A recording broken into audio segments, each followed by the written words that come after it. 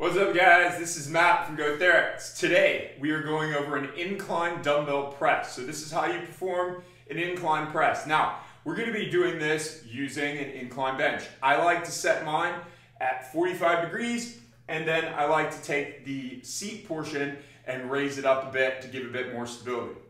We're gonna be showing you our method of doing this today.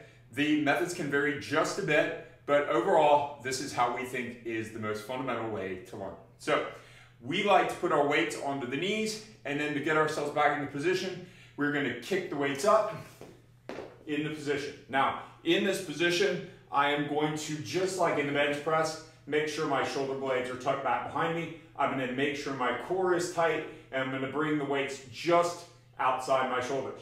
I wanna have flat feet on the floor and I'm pressing up above my shoulders, coming back down around the side of my chest up and down. Nice, controlled movement. Now, as I do this, I'm trying to squeeze towards the center with my chest and then stretch the chest at the outside.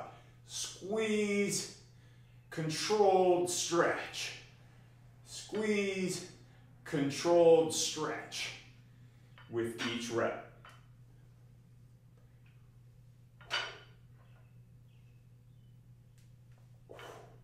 To bring him down, we bring it to the bottom of the movement, tuck those elbows in, legs up, and then we come down that way.